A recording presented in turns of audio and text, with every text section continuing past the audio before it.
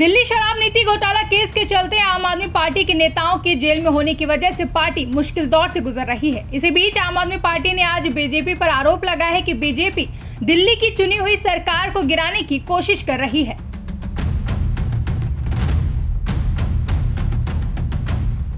आप मंत्री आतिशी ने बीजेपी को एक बार फिर अपने बयानों से घेर लिया है। आतिशी का दावा है कि दिल्ली की चुनी हुई सरकार गिराने की साजिश की गई है।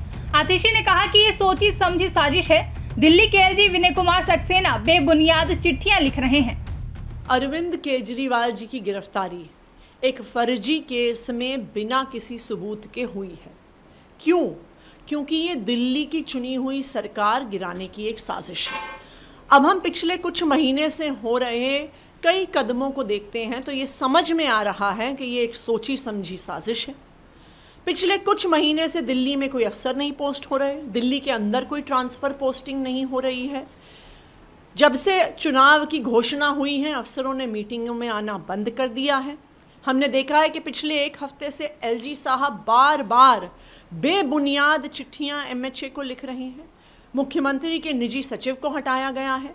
ये सारे इस बात के लक्षण हैं कि दिल्ली की चुनी हुई सरकार को गिराने की कोशिश हो रही है। वहीं आतिशी ने कहा कि अरविंद केजरीवाल के काम फ्री पानी और फ्री बिजली रोकने की भाजपा साजिश कर रही है।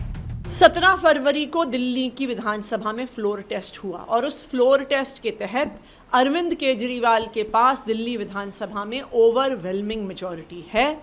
Overwhelming confidence of the house है। लेकिन ये ओवरवेलमिंग मेजोरिटी होने के बाद भी क्यों साजिश रची जा रही है दिल्ली की चुनी हुई सरकार को गिराने के लिए? क्योंकि ये अरविंद केजरीवाल के काम रोकने की साजिश है। ये फ्री बिजली रोकने की साजिश है, ये फ्री पानी रोकने की साजिश है, ये तीर्थ यात्रा रोकने की साजिश है, ये महिलाओं की बस यात्रा रोकने की साजिश है।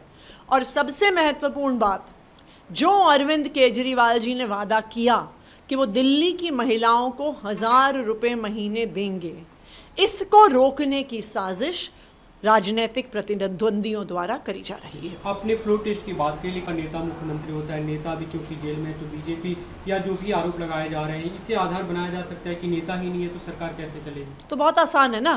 फिर तो आप एक एक करके विपक्ष के सारे मुख्यमंत्रियों को गिरफ़्तार कर लीजिए। फिर आप कहिए कि संवैधानिक संकट आ गया इसलिए अब सरकार गिरानी पड़ेगी। ये भारतीय जनता पार्टी की एक पॉलिटिकल कॉन्स्पिरसी है। और इस पॉलिटिकल कॉन्स्पिरसी के तहत ही अरविंद केजरीवाल जी की गिरफ्तारी हुई है और इसी कॉन्स्पिरसी के तहत दिल्ली की चुनी हुई सरकार को गिराने की कोशिश हो रही ब्यूरो रिपोर्ट, इंडिया पब्लिक खबर। फ़िलहाल के लिए इस खबर में बस इतना ही। देश और दुनिया की ऐसी ही तमाम बड़ी खबरों के लिए हमारे यूट्यूब चैनल को सब्सक्राइब करें और बने रहें इंडिया पब्लिक खबर के साथ।